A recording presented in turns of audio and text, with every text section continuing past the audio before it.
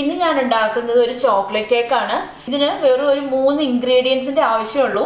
അതിനായിട്ട് ഞാനിവിടെ Oreo biscuit എടുത്തിട്ടുണ്ട്. ഇതൊരു നൂറ്റി മുപ്പത്തി മൂന്ന് ഗ്രാം ഗ്രാം ആണ് ഒരു പാക്കറ്റിന് അതുപോലത്തെ രണ്ട് പാക്കറ്റ് ഓറിയോ ബിസ്ക്കറ്റ് എടുത്തിട്ടുണ്ട്. ഇനി നമുക്ക് ബേക്കിംഗ് പൗഡർ വേണം. അതൊരു ഒരു ടീസ്പൂൺ ബേക്കിംഗ് പൗഡർ ഒരു കപ്പ് പാൽ.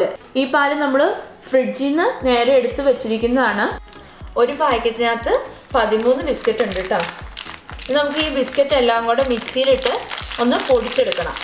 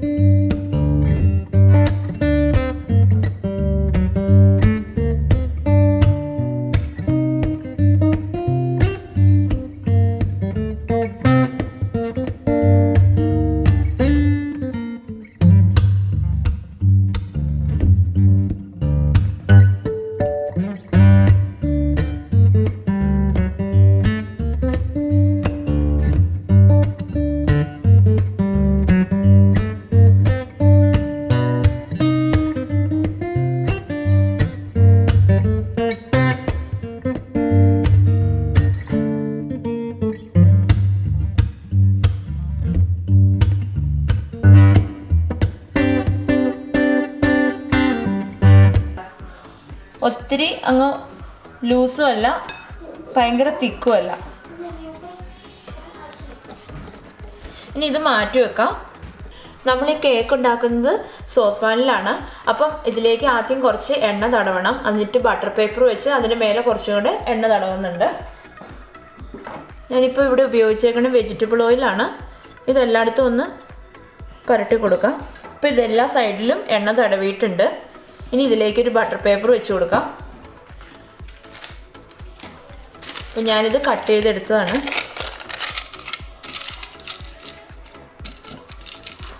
ഇനി നമുക്ക് അടുപ്പിൽ ഒരു അടികട്ടിയുള്ള ഒരു ഫ്രൈ പാൻ അല്ലെങ്കിൽ ദോശക്കല്ലുണ്ടെങ്കിൽ അത് ആയാലും മതിയാവും. അത് വെക്കുക അത് നന്നായിട്ട് ചൂടായി ഇതിന്റെ മേളിലേക്കാണ് നമ്മൾ സോസ് പാൻ എടുത്ത് വെക്കാൻ പോകുന്നത് ഇത് ആദ്യം തന്നെ ചൂടാക്കാം. ഇനി ഈ സോസ് പാനിലേക്ക് നമ്മൾ മിക്സ് ചെയ്ത് വെച്ചിരിക്കുന്ന ഈ ബാറ്റർ ഒന്ന് ഒഴിച്ചു കൊടുക്കാം.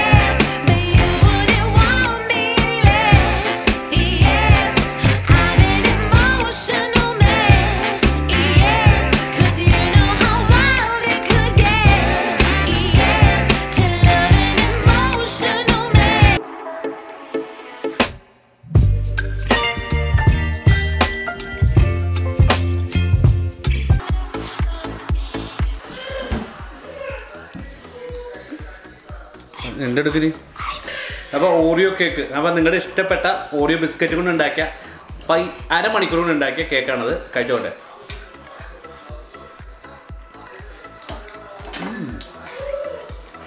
പിടിച്ചില്ലട്ടോ നല്ല സൂപ്പർ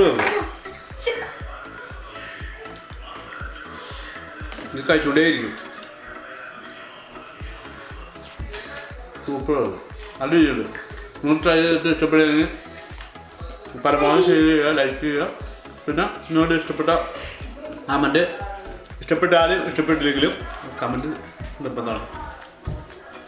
അപ്പോൾ അടുത്ത വീഡിയോ കാണുന്നവർ എല്ലാവർക്കും എല്ലാം നന്മ തരുന്നുണ്ട്. Thank you